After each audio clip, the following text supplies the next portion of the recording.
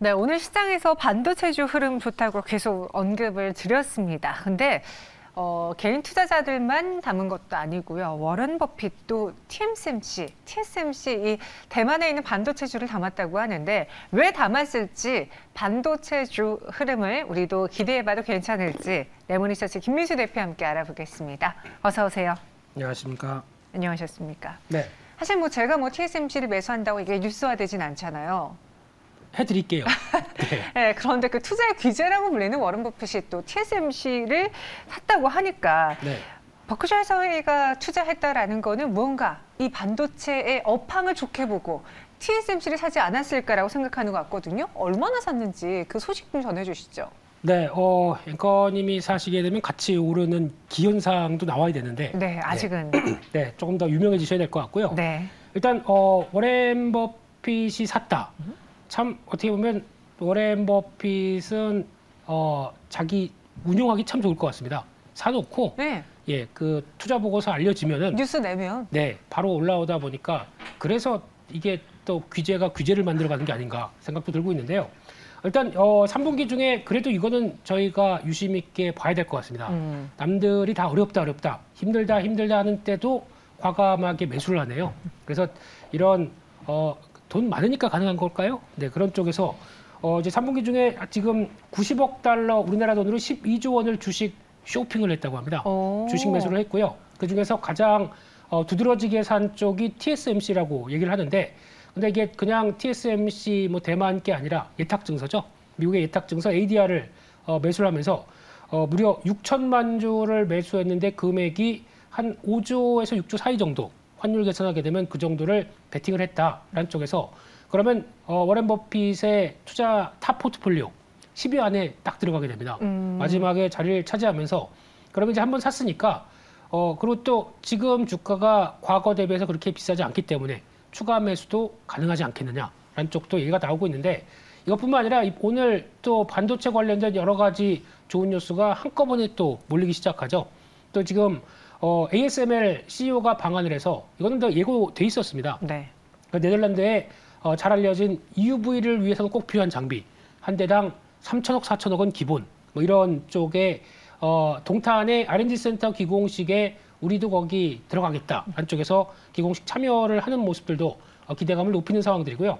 또 마이크로소프트 CEO도 방안을 해서 삼성전자와 좀 뭐 사업거리 없을까라는 쪽에 대한 얘기가 오가는 걸로 알고 있는데 어, AI나 뭐 클라우딩 그리고 또 뭐 자율주행 관련된 여러 가지 부분을 또 확대하기 위해서는 네. 어, 또 반도체가 필수적이죠. 그렇기 때문에 그와 관련된 쪽도 논의했다라는 쪽도 오늘 반도체주를 끌어올리는데 또 하나의 요인이 되지 않았나 생각됩니다. 음, 그런데 퍼펙트 스톰님은 이렇게 글 올려주셨어요. 버핏이 담았다고 올라가는 거 아니요. 버핏도 몇 조 원씩 손절해요라고 이렇게 글 올려주셨거든요. 네. 그러면은 근데 사실 맞는 말이긴 맞는 하잖아요. 말이죠. 네. 네. 그래서 우리가 이 뉴스를 같이 어, 지켜보고 아 버핏도 샀대? 뭔가 좀 반도체에 있어서 view가 달라지나라고 의미 부여하는 게 맞는 거예요? 아니면은 그냥 뭐 버핏도 샀겠구나 하고 넘어가는 게 맞는 거예요? 네, 어, 여러 가지 과거에 또 항공주 같은 경우가 대표적인 케이스죠. 맞아요. 네, 그런 쪽에서도 어, 어떤 기업의 구조적인 여러, 업황도 물론 문제가 있었겠지만 음. 어, 그보다도 기업의 생각했던 것과 다르다. 그러면 어, 몇 조도 아랑곳 없이 손절할 수 있다. 네. 라는 것도 보여주다. 뭐 다 규제는 다 교훈을 찾아야 되겠죠. 그렇네요. 그런 또 강심장 음. 이런 것도 교훈으로 삼아야 되지 않나 싶긴 한데 그러니까 뭐 가장 중요한 건 투자 아이디어가 훼손됐다라고 하게 되면 어, 손절도 필요하다. 그러니까 위험 자산을 어, 대응하는 저희 투자의 단계에서는 손절도 무조건 갖고 있는 것만 능사 아니다. 이런 것도 얘기를 해주는 게 아닌가 싶긴 한데요. 그렇죠. 예, 그런데 지금 어, 반도체 쪽을 볼 때 일단 업황에 대한 우려감은 아직 뭐 남아 있다고 봐야 되겠죠. 그럼에도 불구하고 TSMC가 최근에 어, 대규모 계약을 취소했다. 그러니까 특히 어, 완전히 오더 컷이죠. 네. 이 부분에 대해서도 확인되다 보니까 우려감은 컸었는데 하지만 주가는 반영하다 보니까 많이 싸졌죠. 이거를 좀 이용했던 게 아니냐라고 관점들인데 또 하나 개인적으로 놀라운 거는 이번에 이제 미중 정상회담에서도 봤듯이 일단 웃으면서 악수는 하죠. 잇몸 보였습니다. 두 분 다. 잇몸이 보였습니다. 네, 보였습니다. 근데 중요한 거는 약간 레드라인 관련된 쪽에서 얘기 뭐 대만 얘기라든가 뭐 인권 얘기 이거는 약간 또 첨예한 대립이 나오기 시작하죠. 그럼에도 불구하고 TSMC에 대해서 워렌 버핏이 이런 액션을 취했다라는 거는 결국에는 지정학적 리스크보다도 가격이 싸다 라는 데 더 베팅을 했다라고 하게 되면 이것도 전 개인적으로 눈길이 간다고 봐야 될 것 같습니다. 네. 그러니까 지금 사실 반도체에 있어서는 겨울이 온다라는 이야기를 저희가 너무 많이 들었잖아요. 네. 겨울이 온다라고 해서 막 대비를 했는데 생각보다 겨울이 안 오고 삼성전자가 SK하이닉스가 대형주들이 랠리를 보였던 적도 있었고 이제는 좀 괜찮아질까 했더니 더 추운 겨울이 온다라는 말까지 나올 정도로 특히 반도체 업황에 대한 외국계 증권사 혹은 국내 증권사들의 뷰가 좀 시시각각 바뀌었던 한 해였던 것 같아요. 네. 그런 걸 보면은 약간의 그 시장에서 불안감은 지금 주가에 어느 정도 반영이 됐다. 아직 환호할 만한 상황은 아니지만 그렇다고 더 최악의 상황은 나오지 않을 것이다라고 바라봐도 괜찮겠습니까? 네. 윈터는 맨날 온대요. 네. 근데 뭐 사계절 내내 겨울이래요? 뭐. 이러다 빙하 시대에 오는 거 아닌가 모르겠습니다. 네, 근데 어, 일단 중요한 거는 그럼에도 불구하고 네. 저희가 보통 아는 일반적인 상식주 상식인데 손이 안 나가는 게 그런 게 있지 않습니까? 요즘에 화학주가 움직이는 것도 그런 배경이죠. 업황이 안 좋다. 뭐 회사들의 적자가 뭐 이만큼씩 몇 천억씩 나기 시작한다. 그러면 일반적으로는 두려움이 큽니다. 근데 주가는 벌써 올라가기 시작을 하죠. 그렇다는 얘기는 반도체 쪽도 어떻게 보면은 약간 경기에 민감하게 움직이는 경기 민감 쪽의 성격인데 이런 쪽은 안 좋다, 힘들다라고 하게 되면 주가가 그 전에 미리 빠지고 안 빠지는 경향들이 있죠. 음. 그리고 오히려 약간 어, 고개를 들려고 하는 현상들이 지금 나오고 있는 게 아닐까. 그렇기 때문에 아마 겨울이나 뭐 겨울 할아버지가 오신다고 하더라도 네. 지금 일단은 어, 주가는 미리 선반영했다가 나머지 다음에 변할 가능성을 체크한다라고 음. 하게 되면 이 부분에 대해서는 아무래도 주가에 대한 영향력들이 어, 저희가 알고 있는 것보다는 조금 더 낮을 수 있는데 근데 분기 실적 발표할 때마다는 깜짝깜짝 놀라죠. 아우 이런 데도 갖고 있어야 되나? 근데 주가는 그럴 때마다도 오히려 그 전에 좀 박스권을 그리면서 출렁출렁이긴 하지만 잘 안 빠지는 경우가 나올 수 있겠다라고 봐야 될 것 같고요. 또 하나 이제 중요한 거는 항상 이런 불황이 왔을 때 이런 업체들은 불황 때 투자합니다.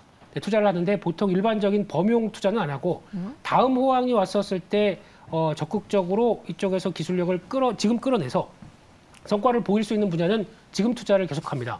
그게 하나의 중요한 포인트가 아닐까 싶기 때문에 거기와 관련된 소부장들은 벌써 이제 움직이기 시작하는 거죠. 그러니까 특히 미세화 공정, 네. 그리고 뭐또 랜드 쪽에서는 적층 공정 이런 쪽에서는 계속 또 관심은 필요하다고 봐야 될 것 같습니다. 오늘 뭐 대만의 TSMC 주가도 이 소식에 상승을 보여주기도 했고요.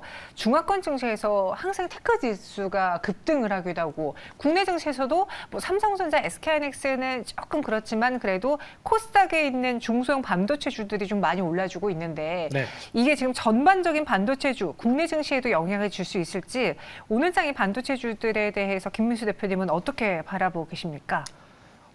삼성전자도 좀 사주시면 안 될까요? 좀 오, 안 그래도 그 이야기가 나왔어요. 네. TSMC 사지 말고 삼성전자 사지 그랬냐고. 네, 저희 개인 주주가 너무 많아서 네. 이런 거 분석하셨나요? 네, 근데 같이 좀 잘 살아봅시다라고 어, 영어로 말씀드리고 싶은데요. 근데 일단 지금 어, 어차피 TSMC가 어떤 파운드리 쪽 비, 비메모리 쪽이다 보니까 국내 메모리 업체와는 조금 성격이 다르죠. 음. 그렇기 때문에 오늘 가장 많이 반응한 건 DB 하이텍이다. 그리고 또 실적도 어제 보니까 잘 나왔죠. 여전히 지금 실적 괜찮다라는 쪽에서 반응하는 것 같고요. 그 밖에 또 챙겨야 될 게 오셋이죠. 어차피 파운드리 쪽으로 강화돼서 전략적으로 이쪽을 키우겠다라고 하게 되면 오셋이 당연히 그러니까 이게 대만이 보여준 전략적인 사- 상황이지 않습니까? 우린 여기 집중하고 나머지 어, 검사나 패키징은 뒤에 너희가 해. 그러다 보니까 동반적으로 다 성장을 했죠. 우리도 이렇게 가야 되지 않나 생각되고 있는데 그런 변화가 같이 좀 더 이어 질 가능성에 무게를 두다 보니까 오늘 이쪽이 제일 또 두드러지게 강하다라고 봐야 될 것 같고요. 하지만 이제 장기적으로는 그렇습니다. 이제 또 앞으로 새로운 시대 또 인간의 기술이 발전하다 보니까 저희가 이제 연산하고 제어하고 하는 이런 칩과 관련된 네. 비메모리 영역들은 당연히 더 발달되고 더 좋아질 수밖에 없겠죠. 그럼 그를 또 보조하는 메모리 쪽은 데이터를 수집하고 그걸 또 활용하는데 입력, 출력 이게 다 같이 이어지다 보니까 메모리도 같이 성장합니다. 그러면 비메모리만 성장하는 게 아니라 메모리도 성장하는 부분까지 생각한다라고 하게 되면 당연히 앞으로도 동반적인 수혜가 있겠죠. 이런 장기적인 관점 쪽에서는 업황은 그렇다고 하더라도 어, 업황이 끝나고 또 이제 기술력과 4차 산업혁명에 대한 여러 가지 얘기 나오면서 성과가 조금씩 나온다라고 하게 되면 메모리도 같이 큰다. 여기가 가장 중요한 변화 같습니다.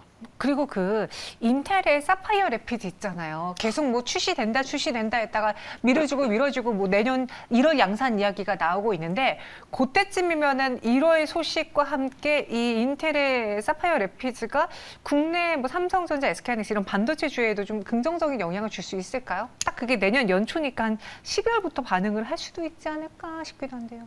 나온대요? 아 모르겠어요. 자꾸 공수표를 던지긴 한데 뭐 네. 1월 양산이 지금은 또 이야기가 나오고 있어요. 네. 인류의 풀리지 않은 삼대 숙제 중 하나. 네. 그렇죠. 네. 네. 어, 주식 투자하시는 분들의 음. 진짜 어, 이거 진짜 언제? 어, 뭐 여섯, 맞아요. 여섯 번째 같은데요, 지금 벌써.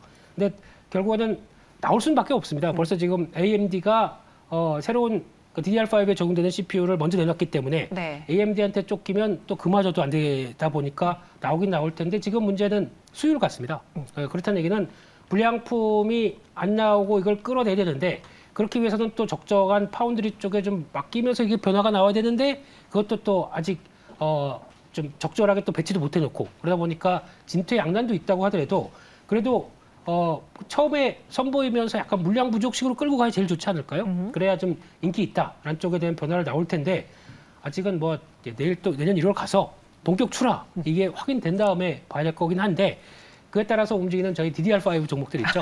네. 거기까지만 하겠습니다. 뭐 기대를 예, 어, 알겠습니다. 양치기 소년은 그만했으면 좋겠습니다. 맞아요. 네. 이제는 뭐 나온다라는 이야기가 나와도 시장이 예전처럼 반응을 안 보이는 게 너무 허두속어서 네. 허두속아서 그런 것 같아요. 여기 또 앞서 지금 두 정상이 만났다라는 이야기하면서 잇몸까지 보였다라고 했는데 지금 계속 미중 갈등은 진행 중이에요. 그리고 이번에 중간 선거에서 뭐 민주당이 승리한다, 공화당이 승리한다 그러면 뭐 IRA가 법안이 뭐 살짝 더뎌진다 뭐 여러 말이 많았지만 네. 제일 중요한 건 그거예요. 누가 되든 미국의 우선주의는 굳건할 것이다. 그렇죠. 그렇게 되면 이들이 우선주의로 내세울 거는 가장 먼저 또 반도체지 않습니까? 그렇습니다. 미중의 갈등은 계속 진행 중인데 네. 그 사이에 낀 국내 기업들은 내년에도 좀 골치가 아플까요? 그럴 수밖에 없죠. 지금 현상은 14나노 이하 이쪽으로는 어, 중국의 어, 장비 반출 안 된다. 하지만 1년 유예해 주겠다. 근데 1년 유예가 말 그대로 유예죠. 내년 가게 되면 아이 몰라 이제 그만해 하고 딱 하게 되면 어쩔 수 없는 상황들이 나옵니다. 그렇게 됐을 때는 어, 누구보다 삼성전자, SK하이닉스가 잘알 것 같고요. 지금 기준은 매년 유예 쪽으로 가지 않을까 싶은데 그래도 이제 중국의 파워가 조금씩 더 커지기 시작한다 그러면 당연히 경계를 할 수밖에 없는 쪽이죠. 그래서 이 부분은 아무래도 어, 삼성전자, SK하이닉스의 미국이 얘기하는 바가 그거 같습니다. 그렇다는 얘기는 어, 거기서 하는 것보다 동맹국 쪽을 먼저 동맹국 shoring이라고 그러죠. 네, 이쪽을 강화시키면서 나올 수밖에 없는 변화가 돼야 되지 않겠느냐. 그러면은 개인적으로는 조만간 내년까지 해서 삼성전자의 어, 뭐 유럽이나 아니면 미국 쪽이나 이런 쪽에 반도체 공장을 짓는 얘기가 나오지 않을까. 그러니까 지금 M&A 얘기가 안 나오죠. 현금을 갖고 일단 쌓아놓은 상황 쪽에서 뭔가 확실하지 않습니다. 네. 그러면 이거를 아예 그런 어, 파운드리 쪽이나 아니면은 어, 메모리 쪽이나 이쪽에 대해서 미국 공장액이 어, 이런 쪽이 좀 더 강화되는 게 아닐까라는 생각이 드는데 그렇게 되면은 그래도 트렌드에는 맞겠다고 봐야 되겠죠. 그런 쪽인데 아무래도 지원을 많이 받아야 되지 않나라는 쪽에서 이거는 뭐 정치적인 것과 또 같이 연결되고 있기 때문에 나중에 가서 보시죠. 네. 알겠습니다. 제가 반도체에 대한 질문을 좀 접수를 받았는데 어, 접수가 많이 됐어요. 지금 바쁘실 것 같은데 일단 퍼펙트 스톰 님이요. 네. 반도체 겨울은 언제 오나요? 그렇게 말이 많았던 그 반도체 겨울 언제 오는지 궁금하다라고 글 올려주셨고요. 네. 또 코리아 MC님은 삼성전자도 이제는 반도체를 넘어서 배터리에 집중한다는 기사가 있던데 그럼 또 시장에서 반도체보다는 배터리가 더 우선순위가 되는 건지 궁금해하신 것 같고요. 네. 루즈님은 네. 하나의 질문에 많은 걸 넣으셨어요. 반도체 장비 소부장 제조사 어느 부분을 투자하는 것이 좋을까요? 어, 네. 지금 열심히 받아적 계신데. 네, 숙제입니다, 제. 네. 예, 네. 어, 저희 좀 질문 좀 해결해 주시죠. 네, 어, 언제 겨울이 오느냐 이거는 뭐 제가 스노우맨도 아니고 네. 예, 뭐 일단 어, 겨울은 지금입니다. 지금이 어, 겨울 같습니다. 지금이 겨울이다. 네, 겨울이 들어온 상황 쪽에서 이제 이게 어떻게 어떤 트리거로 뭔가 변화가 되느냐. 근데 말씀하셨던 뭐 DDR5가 될 수도 있긴 하겠는데 이제 중요한 거는 제 개인적으로는 내년에 중국의 어, 리오프닝이 시작이 되지 않 그쪽에서 뭔가 변화가 되지 않겠느냐라고 아. 보다 보니까 거기서 의미 있는 변화가 나온다고 생각되고 있고요. 두 번째 배터리 쪽은 예 모르겠습니다. 저 삼성에서 나온 사람은 아닙니다. 네. 네, 그래서 어, 자세히는 어, 더 확인해 봐야 되겠지만 배터리 쪽보다 지금 현재 어, 어느 정도 성과를 내서 끌고 간다라고 하게 되면 배터리 쪽은 삼성 SDI가 할 일이겠죠. 근데 그와 함께 전략적 자산 배분들이 나온다는 관점 쪽은 보여지고 있는데 아직은 또 나와 봐야 되겠죠. 근데 러브콜은 상당히 많은 것 같습니다. 네, 그래서 아마 어, 그쪽보단 지금 저희는 반도체 쪽이다 보니까 반도체 영역을 넓혀가는 데는 계속 어, 열의를 할 것이다라고 음. 바라보고 있고요. 네. 마찬가지로 소부장은 마지막 질문과 똑같은 것 같은데 저는 개인적으로 소부장 쪽은 어려운데도 투자한다라고 하게 되면 미세공정 그리고 또 EUV 이쪽은 내년에 더 많이 간다라고 생각합니다. 어, 미세공정과 EUV 쪽이요. 네, 그쪽의 대표적인 회사들이 뭐 ISC나 원익QNC 이런 종목이고요. EUV 쪽은 어, 다 아시는 것처럼 SNS텍 어, 저 소재 쪽이고 EUV는 이 장비 쪽은 FST죠. 네. 네, 그와 함께 동진 세미캠이 또 보여주고는 이번에 실적 동향도 보다 보니까 아주 퍼펙트합니다. 음. 이런 것도 보게 되면은 아마 내년은 EUV로 가면서 성과 뚜렷이 나올 것이다. 여기에 초점을 맞추겠습니다. 어, EUV 관련주로 주목을 해보자라고 해주셨는데, 근데 저 그런 이야기 들었거든요. 지금 뭐 세계 각국의 반도체 기업들이 투자를 줄이고 있으니까 네. 장비 쪽은 건들면 안 된다라는 이야기를 들었는데 꼭 그것만은 아닌가요? 장비 쪽에도 미세화 공정과 관련된 장비 쪽은 봐야 됩니다. 아, 그게- 그쪽은? 네, 그쪽이 쉽게 얘기하면은 아마 삼성전자 TSMC 같은 경우는 이제 진입한 게 핀펫이라고 하는 방식인데 네. 삼성전자는 GAA라고 하는 방식으로 끌려오기 시작하면서 훨씬 더 효율적인 방법을 나간다라고 되면 거기와 관련된 장비들 쪽도 보자라고 하게 되면 뭐 원익 IPS부터 유진테크 뭐 그다음에 주성 엔지니어링 이런 쪽도 연결이 되는데 아직 범용 장비가 연결이 돼 있다 보니까 그게 실적 흐름들이 반영되는 거는 조금 늦을 수도 있지 않나 라는 아. 쪽은 바- 생각하고 있습니다. 알겠습니다. 장비여도 EUV나 미세 공정과 관련된 종목은 봐야 된다라고 정리해 주셨습니다. 어, 숙제 다 마치셨으니까 이제 가도 되나요? 아, 네, 가도 네. 되세요. 네, 지금까지 김민수 대표와 함께했습니다. 고맙습니다. 감사합니다.